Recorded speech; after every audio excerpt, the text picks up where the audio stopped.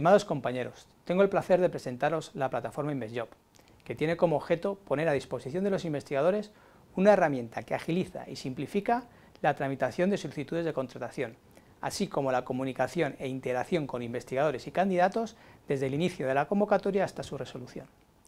InvestJob facilita la firma telemática de las solicitudes, el cálculo del coste del contrato en tiempo real, la inscripción de candidatos, la comunicación e interacción con los candidatos durante todo el proceso de convocatoria, la evaluación telemática de los candidatos admitidos y finalmente la firma telemática del acta de evaluación. A continuación te presentamos un breve tutorial de su uso. Para cualquier duda estamos como siempre a tu disposición en el servicio de gestión de proyectos de I+D+I. Para crear la solicitud utilizaremos el menú Crear solicitud, ubicado en la parte superior derecha de la pantalla o bien el icono InvestJob, ubicado en la parte central de la pantalla. Dentro del formulario de solicitud, el primer dato que debemos incluir es la referencia interna del proyecto. Pulsando el icono Comprobar, el sistema nos devolverá los datos del proyecto. Antes de continuar complementando el formulario, comprobaremos que hemos seleccionado el proyecto correcto. En caso de error, Pulsaremos el icono Limpiar y volveremos a incluir la referencia interna del proyecto deseado. A continuación, cumplimentaremos dos apartados, los datos de la convocatoria y los datos económicos. En los datos de la convocatoria debemos indicar número de plazas convocadas, denominación del puesto o puestos convocados, titulación académica mínima requerida, otros requisitos imprescindibles para la admisión del candidato. Actividad que desarrollará el contratado. Periodo de inscripción de la convocatoria. En el apartado Datos económicos, el sistema nos devuelve dos datos fundamentales. El crédito disponible y la fecha fin del proyecto. A continuación, deberemos indicar los siguientes datos.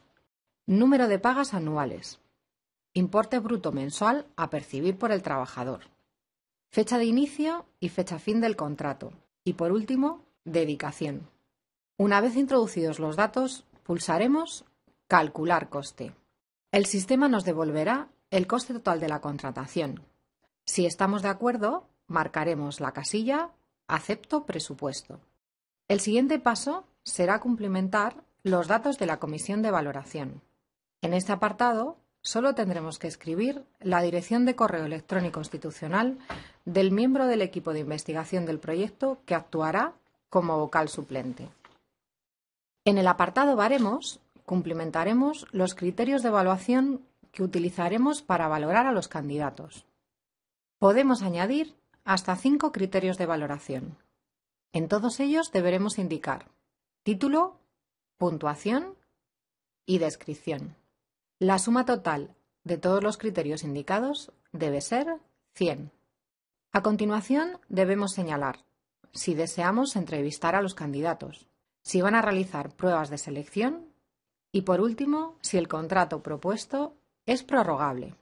Para finalizar, indicaremos la puntuación mínima requerida que deben obtener los candidatos para superar el proceso de selección. Una vez cumplimentados y revisados todos los campos de la solicitud, deberemos pulsar el icono Enviar y firmar solicitud. El sistema nos pedirá que confirmemos la creación de la solicitud.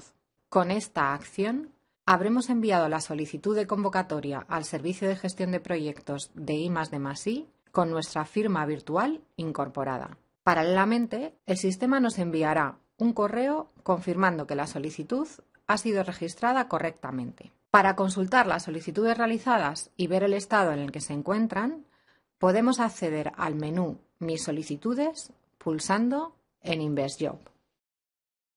Valoración de los candidatos. Una vez publicada la solicitud de convocatoria y finalizado el plazo de inscripción, recibiremos un correo electrónico indicándonos que podemos valorar a los candidatos. Para acceder a la valoración, entraremos en la plataforma InvestJob. Seleccionaremos la solicitud que vamos a valorar y en la columna Acciones pincharemos en el TIC para visualizar las solicitudes de los candidatos. Para consultar los datos de los solicitantes debemos pulsar sobre el más. En la columna Ficheros adjuntos podemos descargar la documentación de cada candidato. Una vez analizada la candidatura, podemos evaluarla en la columna Valoración, pulsando Valorar. A continuación, nos aparecerán los criterios de baremación y en cada apartado debemos cumplimentar obligatoriamente dos datos, la puntuación obtenida y una breve descripción indicando su motivación. Al finalizar, confirmaremos la baremación del candidato pulsando Confirmar. En caso de necesitar modificar alguna de las valoraciones, pulsaremos sobre Valorado, Revalorar e introduciremos el nuevo baremo. Una vez valoradas todas las candidaturas, pulsaremos Confirmar valoración. De esta manera, habremos firmado el documento de baremo y el acta de la comisión de valoración con nuestra firma virtual.